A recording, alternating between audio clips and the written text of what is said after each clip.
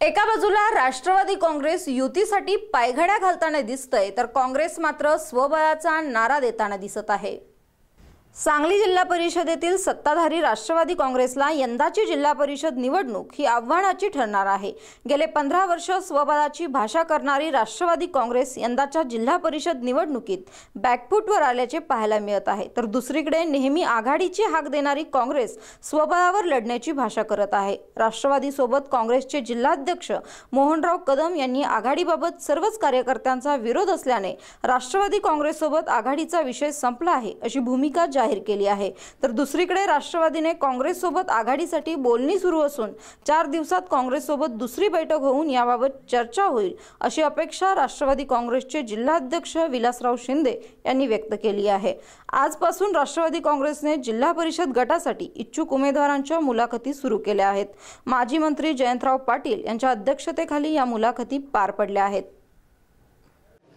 ज्याने ज्याने ज्याची काही ताकदच नाही त्याला काय फरक पडतो? जो सत्तेवर येणार आहे त्याने समजूतदारपणा दाखवून पाऊल टाकायचं असतं. उगाच आपलं काही बोलायचं काही नाही त्याला काय आता ते?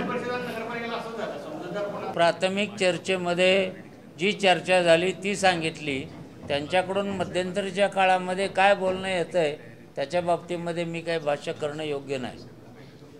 समजा त्यांच्या बोलण्याप्रमाणे समजा आघाडी नाही झाली तर राष्ट्रवादी सगळी. आम्ही आमचं स्वतःच्या आत्तापर्यंत आम्ही गेल्या पंधरा वर्षामध्ये जिल्हा परिषदेमध्ये सत्तेवर आहे. आणि आत्ता पुन्हा आम्ही स्वबळावरती सुद्धा जर झाली नाही तर मी परवा मुलाखतीमध्ये सांगितले समविचारी पक्ष समविचारी व्यक्ती समविचारी गट यांच्याशी चर्चा करून जे कोण आमच्याबरोबर येतील त्यांना घेऊन जिल्हा परिषदेच्या निवडणुकीमध्ये आम्ही उतरणार आहोत. जर काही समझोता झालाच नाही तर आमची तयारी चालूच आहे. ते खालच्या पातळीला अधिकार आता दिलेत आम्ही. शिराळा आहे कवटेमाकाळ आहे आटपाडी आहे खानापूर आहे. त्या ठिकाणी चालू आहेत त्यांच्या चर्चा पण त्याचा निष्कर्ष आज मी सांगणं बरोबर नाही. झाली झाली नाही त्यांच्याशी नाही पतंगरांची. मोहन रिचर्डची नाही झाली. न, कवठे सरकारांशी कवटेमंकाळमध्ये सुद्धा नाही त्यांनी चर्चा केलेली आहे.